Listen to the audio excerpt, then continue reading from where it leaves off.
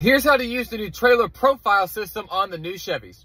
You're gonna hit the button that looks like a trailer in the top left, hit add new trailer, choose is it a conventional hitch, fifth wheel hitch, or is it a gooseneck? And then hit next at the bottom, say what kind of trailer it is. Hit set up features.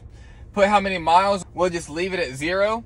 Do you want reminders whenever the brakes need to be changed? Whenever the tire conditions on the trailer need to be attended to?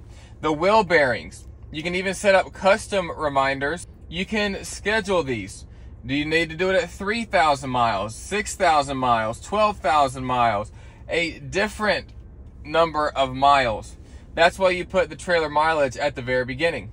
Next, you can have it remind you to put the vehicle into tow haul mode. Now you have a checklist to make sure you're not missing anything at all. You can check the lights on the trailer without having